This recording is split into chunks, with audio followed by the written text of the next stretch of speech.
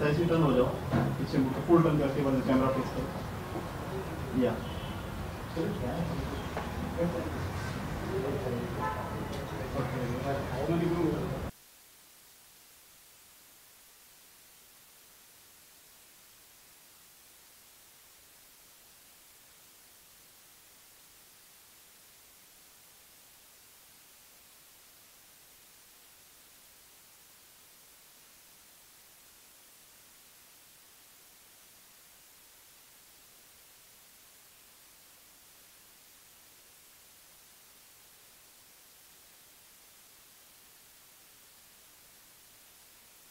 सबसे पहले आपका नाम? कुछ प्लान मैं श्वेता चौधरी मिसेस इंडिया और 2017 हूँ। सुनीता बात करें अ, क्या कहना चाहेंगे आपने जो पीछे अवार्ड जीता है और अभी क्या तैयारियाँ हैं आपकी Uh, मैं पूरी तरह से तैयार हूँ बिकॉज़ अभी सिर्फ़ एक हफ़्ते ही बचे हैं हमारे ब्यूटी पेजेंट मिसेस अर्थ में। तो uh, मैंने अप, अपनी ड्रेसेस अपना फिटनेस लेवल सारा कुछ रेडी हूँ मैं।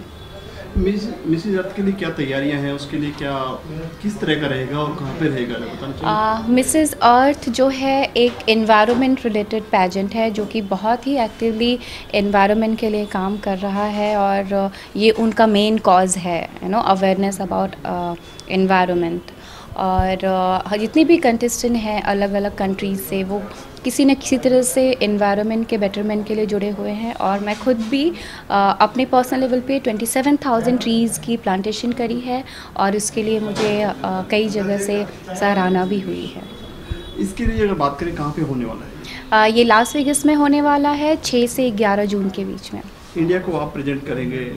जी हाँ। तो उसके लिए क्या क्या अलग से सोचा आपने? आ, देखिए इंडिया जो है, वो बहुत ही रिच कंट्री है अपने वैल्यूज़ और कल्चर को लेकर के। तो मैं पूरी तरह से अपने देश की जो खूबियाँ हैं, वही रिप्रेजेंट करने वाली हूँ।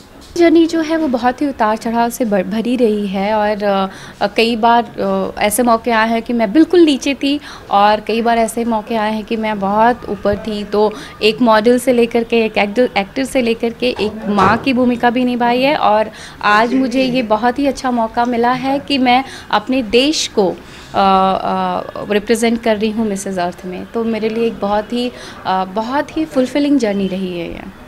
इसके लिए अर्थ के लिए और भी काफ़ी फ़िल्म स्टारे हैं फ़िल्मों के सितारे जो काफ़ी जुड़े हैं इससे अजय देवगन भी है इस पर काजोल भी जुड़ी है तो अपने आप को कितना प्राउड फील करते हैं इस चीज़ के लिए?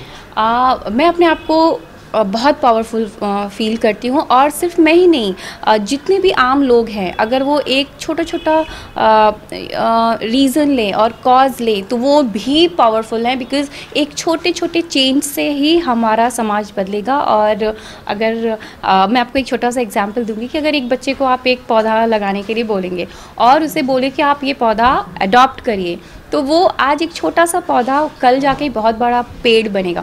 और उसी तरीके से अ, हमने अ, इस लेवल पे काम किया है कि एक आदमी एक पौधा। तो उसकी वजह से हमारा जो इन्वायरमेंट का जो प्रॉब्लम है वो कहीं ना कहीं सॉल्व होगा और बहुत ही बड़े बड़े एक्टर्स और लोगों ने इसमें सपोर्ट किया है। और उसी तरह मैं भी जैसे वो अपने आप को इस चीज़ में आगे बढ़ा रहे हैं। वैसे मैं भी इस चीज़ को आगे बढ़ा रही हूँ और मैं अपने आप को बहुत ही स्ट्रांग मांगती हूँ इस चीज़ को। में किसको मानते हैं बॉलीवुड में?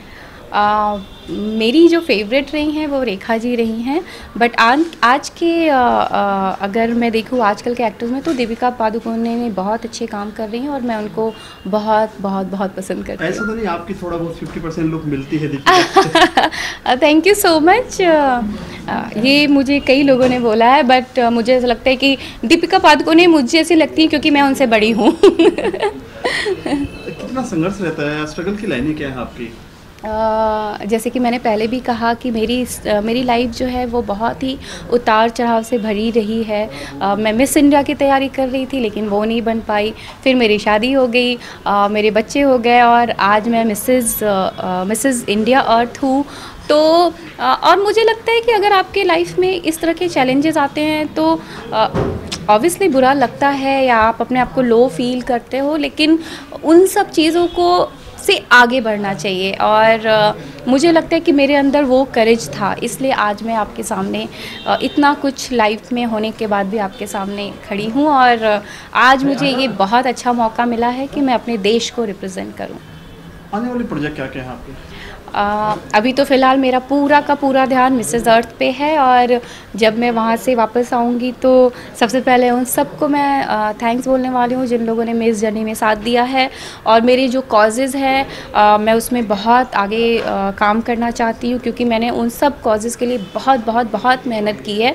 तो उनके लिए मैं काम करना चाहती हूँ और अगर मैं मिसेज़ अर्थ जीतती हूँ तो वो सारी की सारी चीज़ें एलिवेट हो जाएँगी। उसके अलावा मैं एक्टिंग में भी ट्राई कर रही हूँ मॉडलिंग तो कर ही रही हूँ। Thank you thank you so much